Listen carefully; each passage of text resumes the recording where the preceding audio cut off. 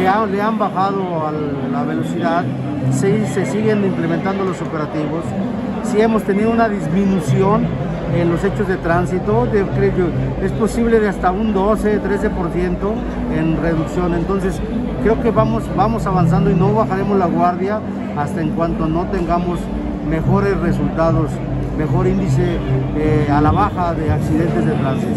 Eh, son los menos, la verdad. No podría precisar un número exacto, pero que verdad son los menos que protestan, porque con el radar les demostramos a la velocidad que ellos conducen.